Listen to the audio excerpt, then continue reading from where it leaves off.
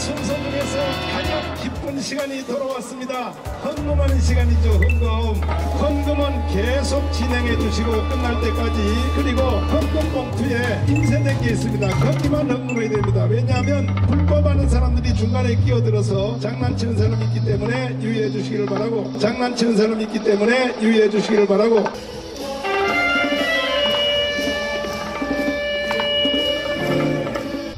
눈깔이 진짜 버라이어티하게 걸리더라.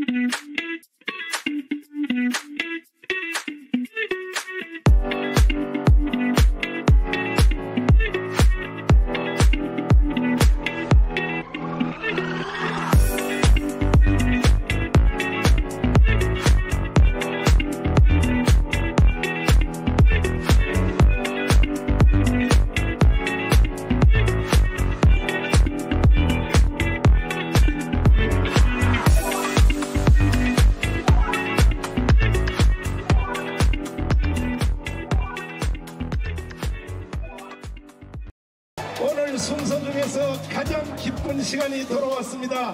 헌금하는 시간이죠, 헌금.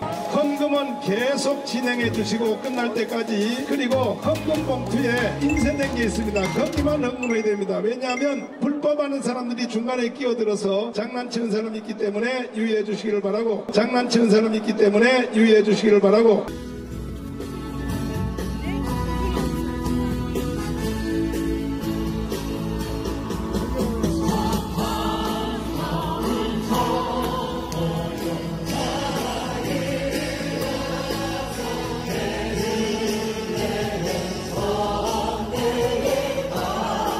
Oh.